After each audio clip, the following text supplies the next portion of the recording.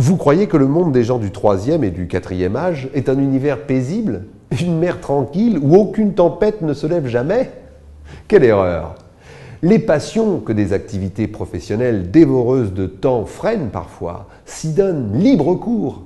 Ces quelques aventures glanées dans les maisons de retraite, les lieux de vacances, les clubs de bridge et même les paroisses vous en donnent le témoignage. Le problème des personnes âgées, c'est que, malgré un affaiblissement physique inévitable, dans leur tête, elles sont toujours jeunes. L'auteur, Daniel Terry, est ancien patron d'une entreprise de négoce de bois. De cette vie de chef d'entreprise, puis de retraité actif, Daniel Terry fait son miel en de goûteuses nouvelles écrites d'une plume alerte.